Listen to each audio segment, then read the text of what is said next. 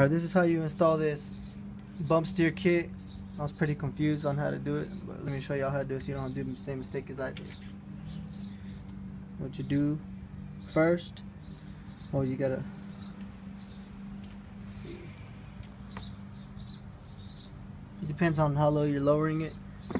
I'm just gonna do this one right here, where it says to put the five millimeter spacer, and then the seal, and then there's your tie rod or your bump steer and then your 5 millimeter spacer on the bottom of that, and then your 2.5 millimeter spacer, and then your nut goes there.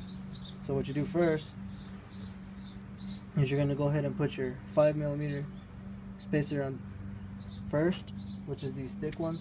You got these thick ones and these thin ones. So I'll put that one first, and then after that, you're gonna put you're gonna put your seal on just like this, and then after that you're gonna put you're gonna put it on here? Put it on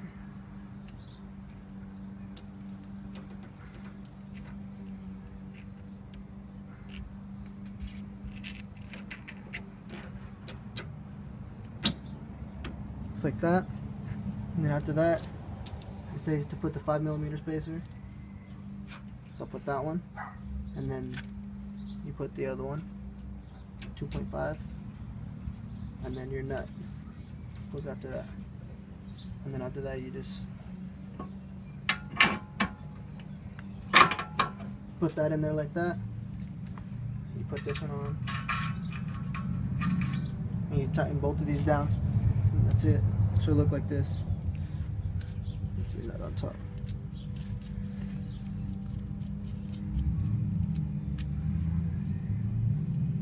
like that. That when you tighten it down, there's not going to be no play like this going up and down. At first, how I did it, I put the spacers on top right here because it looked that's how the, it looked like in the picture. These instructions suck.